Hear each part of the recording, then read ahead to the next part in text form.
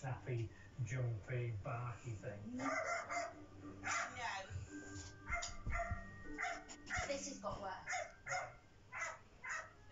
But once we set off, Apple, lay down. Oh, that's good. Apple, lay down. You can't see out the window now. It's dark.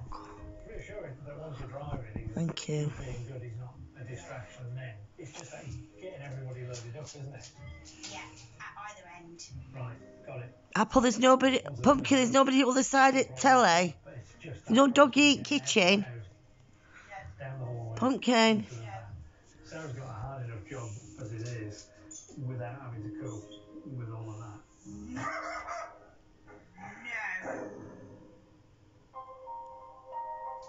Despite Doodle's worrying behaviour, there's a very good reason Sarah and husband James Stop getting upset. It's on telly.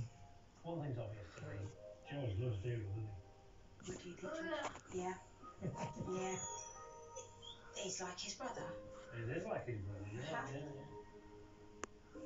George had an older brother who was called Jack, who died seven years ago, and he died in his sleep one night for no particular reason.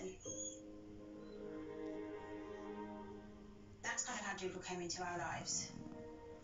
I brought him in to the family to be like a baby that I, or the child that I didn't have, and complete our family. Be a companion and a friend with George, I guess.